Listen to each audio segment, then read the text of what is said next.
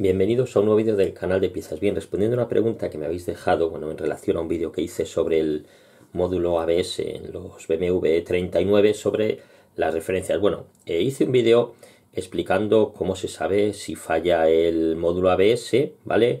O el problema viene de uno de los sensores de la rueda, ya sabéis. Eh, primero porque se enciende en el cuadro, ya sabéis, la luz amarilla del control de tracción, ¿vale? Ya sabemos que ahí algo falla. Primero empieza a veces se enciende, apaga intermitentemente, ¿vale? Cada cierto tiempo, pero llega un momento en que ya se queda de continuo, ¿vale? El problema que tiene, eh, si se enciende de continuo, ya sabes que no tienes control de tracción, entonces hay que tener mucho cuidado porque todos estos vehículos son muy potentes y encima tienen propulsión trasera, entonces, sobre todo con lluvia, gravilla y demás, hay que tener muchísimo cuidado. El problema es que a veces cogemos confianza porque se enciende de vez en cuando y luego pues justo te pega el susto en una curva o te pega el susto justo lloviendo, ¿vale? Con eso hay que tener cuidado. Bien, como digo, e, bueno, ¿cómo sabemos si el problema viene de este sensor? Bueno, pues, o sea, perdón, de este módulo, del módulo ABS, pues eh, los sensores de las ruedas delanteras o de las traseras son intercambiables entre sí, los de las ruedas entre sí, los de las, perdón, los de las ruedas delanteras entre sí y los de las ruedas traseras entre sí. Entonces, para saberlo, bueno, se le mete a la máquina y en la máquina te sale, por ejemplo, fallo del eh, sensor de la rueda delantera derecha, ¿vale? El sensor del ABS. Entonces, se intercambia de una rueda a la otra, se anda un poco con el coche, se vuelve a meter a la máquina y si sigue saliendo el mismo fallo, ya sabemos que lo que falla no es el sensor de la rueda, sino el módulo ABS, ¿vale? Bien, las referencias, por ejemplo, en, creo recordar, bueno, había Hubo tres modelos. El primero no solía dar problemas de cuando se empezó a fabricar este, este vehículo.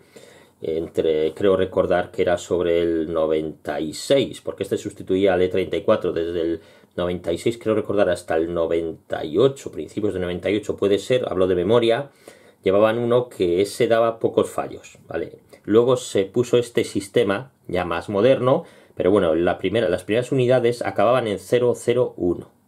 ¿Vale?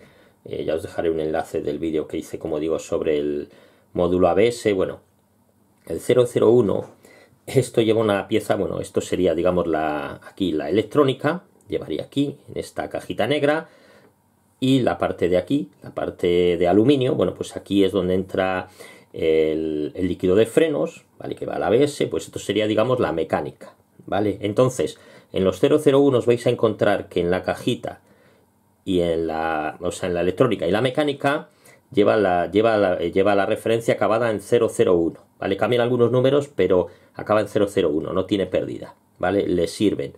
Y luego el siguiente modelo que sacaron, el, o sea, luego modificaron el, el, el módulo de la ABS en el 2001 y pusieron ahí, hay dos referencias. Si miráis en la parte superior, por ejemplo aquí, mirad, a ver si hice unas, unas fotos, a ver si se ven Aquí, por ejemplo, mira, aquí se ve el número, este es el que hay que tener como referencia, que sería bueno, un 0265 225 005. Esto estaría, digamos, en la mecánica.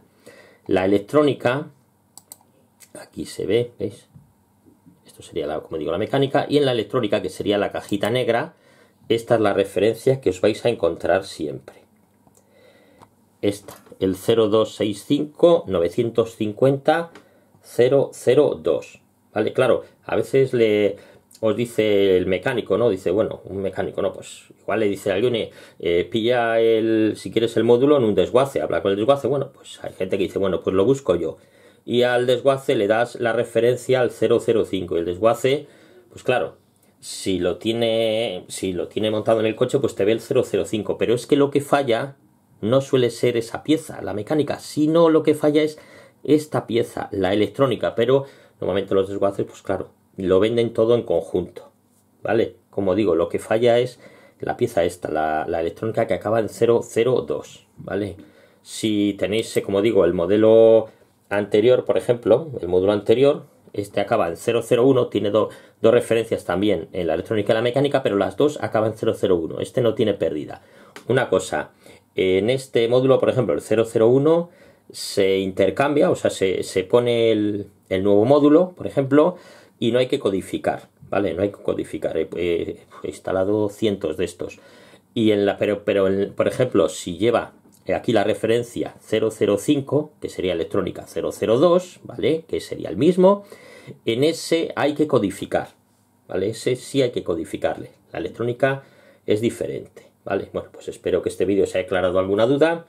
Y si es así, bueno, pues no olvidéis dar un like y suscribiros al canal.